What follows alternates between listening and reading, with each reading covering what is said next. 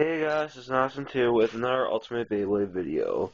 So basically, I think that my other Beyblade videos have been kind of sucky lately, but this is really different. I've even tested this myself and it really rocks. First you guys start out with the Earth Fusion Ring.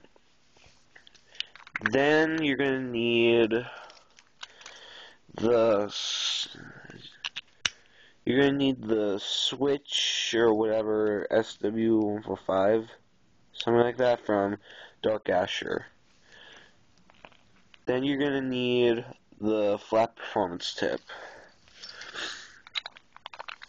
You're also gonna need a metal face bolt. If you don't have a metal face bolt, it's gonna be fine, but it's gonna be a little weaker.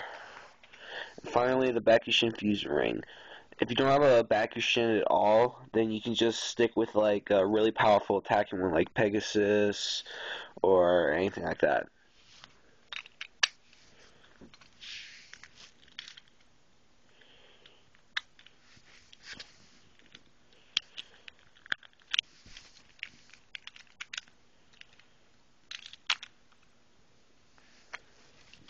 And there we have it.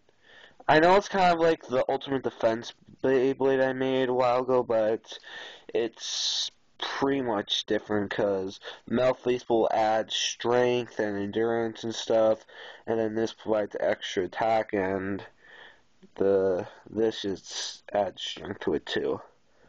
So